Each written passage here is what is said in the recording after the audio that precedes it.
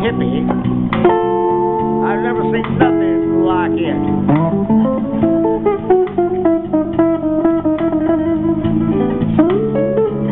I do. I quit my job at Palace Supply.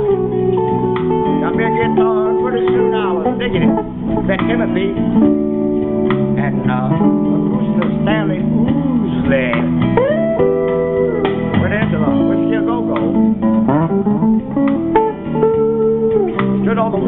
I getting a half of that. All this stuff, y'all. Yeah. Come on. It's really crazy. It was Eric, Bruce, and Ginger. They've taken the same stuff as me. It made my day.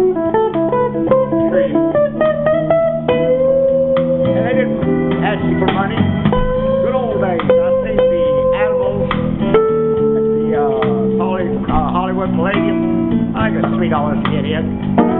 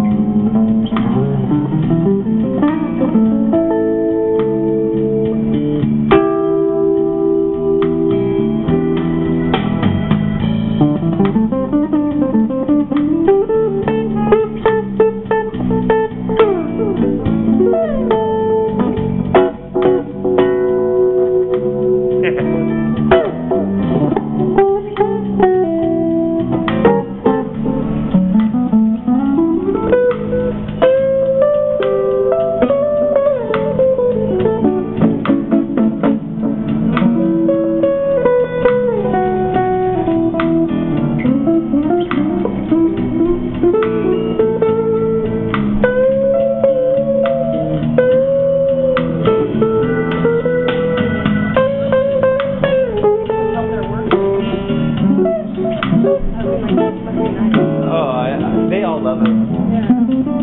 Yeah.